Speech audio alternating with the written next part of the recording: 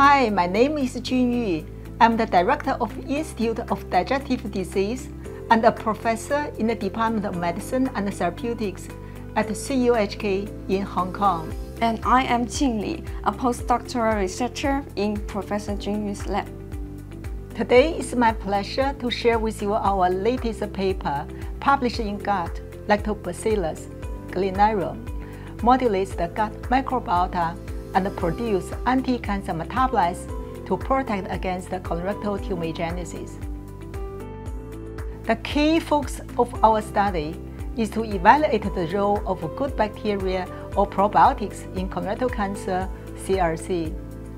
The gut microbiota is very important in colorectal tumorigenesis.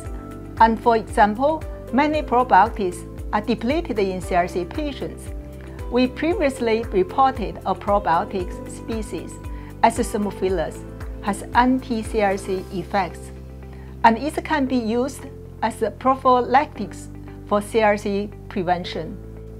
Based on these results, our next question is to ask whether other CRC depleting bacteria have similar anti-CRC effects.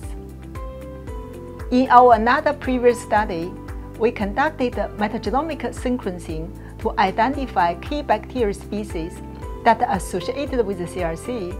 We found that Lactobacillus gallinarum LG is one of the most significantly depleted probiotic species in the stool of CRC patients. This result indicates LG may play a role in suppressing colorectal tumorigenesis. To test the effect of LG on colorectal tumorigenesis, we first gavage LG or controls PBS or E. coli to the transgenic APC mice. Our results from the colonoscopy clearly show that the colon tumor size in mice gavaged with LG is much smaller than the controls. After sacrifice, the administration of LG could significantly reduce tumor number and tumor size in colon and small intestine on APC mice. Next, for validation, we established another CRC mouse model by using carcinogen AOM and DSS. As you can see here, LG also greatly reduced tumor number and tumor size in the colon AOM DSS mice. Therefore, our consistent results between two CRC mouse models confirm the anti-CRC effects of LG. We then investigated the effects of LG on gut microbiota by performing 16S sequencing on mouse stool samples. Our analysis showed that the alpha and beta diversities between LG and PBS control mice are significantly different and thus suggested LG could change the overall microbial community. In particular, the abundance of several probiotics, including lactobacillus, were increased in mice gavaged with LG, while some potential pathogens, such as Parabacteroides and Ruminococcus, were depleted. Taken together, the administration of LG could increase abundance of gut probiotics and deplete potential gut pathogens.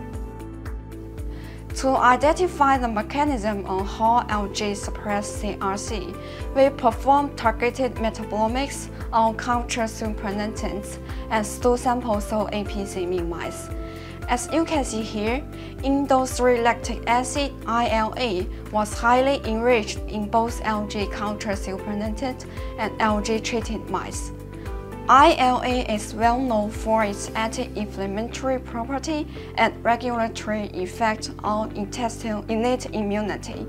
When treating APC mice with ILA, we found that tumor number and tumor size in mice colon and small intestine are significantly reduced.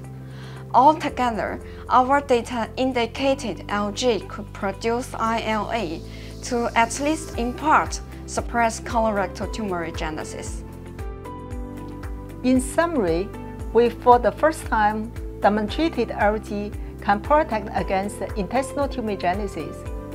These anti-CRC effects associated with modulation of the gut microbial composition and the secretion of protective metabolites, including ILA to promote apoptosis, of cancer cells.